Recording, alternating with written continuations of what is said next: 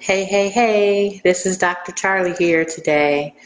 Um, today I want to talk to you about presencing, about really bringing yourself fully present for whatever situation you are in.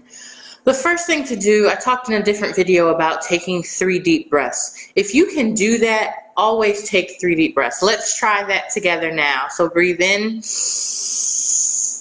and breathe out. You can breathe out through your uh, mouth or nose is fine. Breathe, but try to breathe in through your nose if you can. Breathe in. Breathe out. One more time. Let's breathe in together. And breathe out. That's one way to presence. Another way is grounding and centering, which I will I'll take you through in a different video. But just becoming present, becoming um, coming into your core and grounding into the earth are also ways to become present. When you're with another person, I would also want you to notice how you feel. Notice where in your body is kind of giving motion or having life, um, whether it's dread or whether it's joy and happiness, really being present for another person. If you imagine there's an activity that you can do that, that takes you through walking around a room and first you're, you know, you're super excited you can do all the motions and gradually one, all the bells and whistles get taken away one at a time um, until you really just have to be extremely present for the other person and you do that silently um, without making gestures or facial, you know, facial motions and without moving your body, like with just really being fully present. Um, it allows people to be seen. It allows people to be heard, even when you can't talk, as it were. Hey, mom. Um, in but but presencing is really I call it the art of being fully present, where you're really tuned in to the other person, where you're really, oh, you're looking at each other and there's this calm understanding. There's an acceptance in presencing.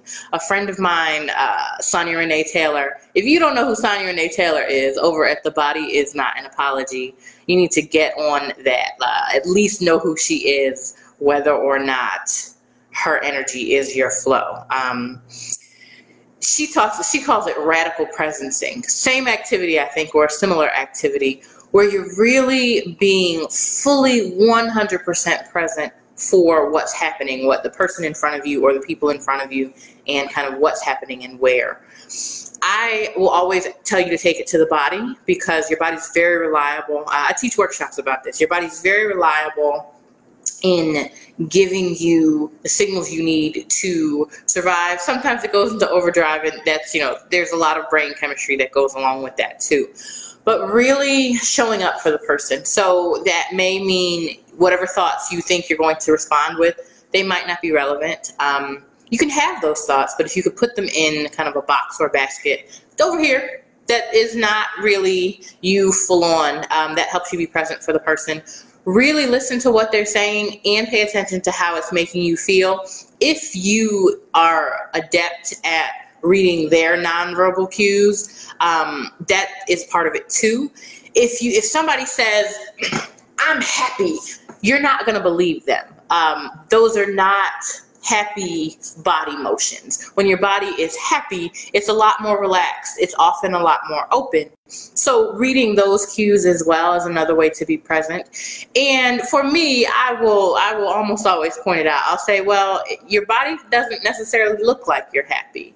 Is there something else, you know, going on here? And that's a different kind of space too. But really paying attention to their verbal and nonverbal cues as well as your own, not um, listening to understand, not listening to respond or react.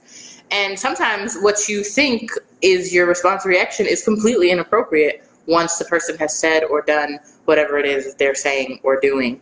Um, paying attention to yourself.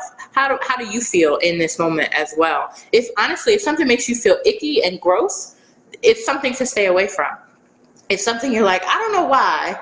You might be a complete mess in front of me, but I feel really good. That's also something to pay attention to um, in yourself as you kind of go through your day.